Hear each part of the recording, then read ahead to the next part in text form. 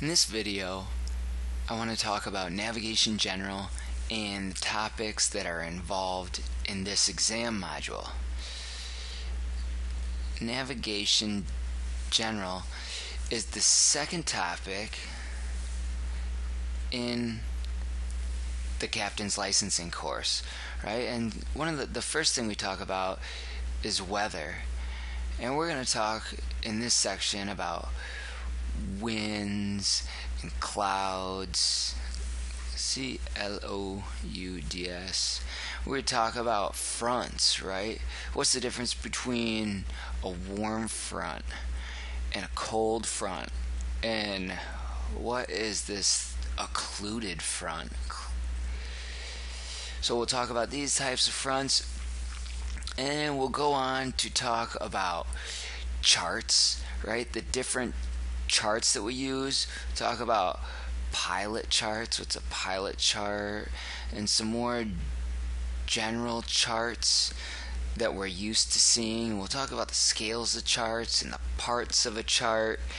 What constitutes land? What constitutes water what what's a contour line what is land that's covered at high tide and land that's exposed at low tide look like so we'll cover a lot all the parts of a chart pretty much. There's a lot of information on a chart. And we'll go on to look at aids to navigation.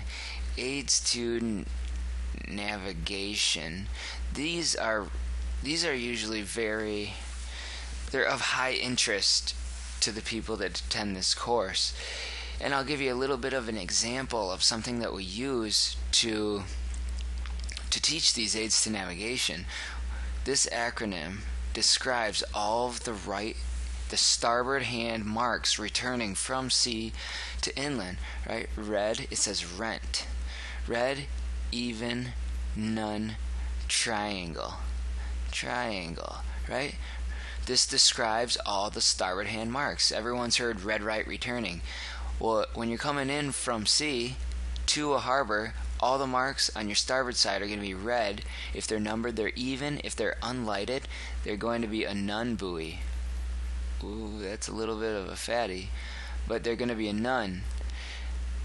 And then they're going to be a triangle. If they're a dayboard, they'll be a triangle. So it'll be a triangle with the two on it. And see this nun? It's got a triangular top. So red even nun triangle describes starboard hand marks. And cogs. Rent cogs. Right? This is a can. Odd. Green. Square. S Q U A R E. Square. So these unlighted buoys on the port side are going to be cans. They'll have odd numbers, right? Three they're they're going to be green in color and square. See how the top of this one is a square, and the day boards will be a square. Square number one. So this is just an example of one of the ways we teach aids to navigation. We also publications is going to be a part of general navigation. Publications. Publications right? We'll talk about light lists. Light lists. In a light list, all of the aids to navigation on a chart, the majority of them will be in the light list. So instead of looking all day on your chart, you go in these light lists and you can find them on a chart. We'll look at Coast Pilot. A Coast Pilot gives more of um, you know, kind of paints a picture of the area, if you will. Let's say you're looking, you're coming into an area you've never been in, and you want to know about that area. You read about that area in the Coast Pilot, and it'll tell you where you should anchor, where you shouldn't anchor, if there's a really hard rip current in a certain area, or if there's a lot of wrecks because of a certain phenomenon in an area. So the Coast Pilot can keep you out of trouble in a new area. And we'll look at tide tables tide tables. Tide tables help us predict tides in certain geographic locations. And we'll look at chart number one. Chart number one are all of the symbols on a chart. Symbols. What do I mean symbols? So if you see something looks like a little scar with a circle around it, what does this symbol mean? Well, this is a wreck. And if it's shaded blue, it's dangerous to surface navigation, right? So this is a wreck. What happens if it's a wreck and it says right next to it says PA. Well, this PA, you look under abbreviations and it will say position approximate. So if you see a wreck with a PA by it on a chart and you don't know what it means, you can go to this chart number one and it will it'll describe to you what these symbols mean.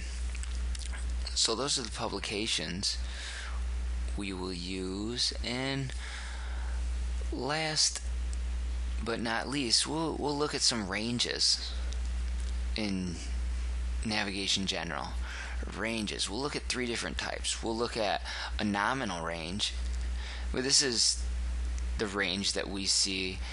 The um, light list here will give you the nominal ranges of these aids to navigation. It'll say, okay, it's 168 feet tall and it has this light on it. How far can you see it?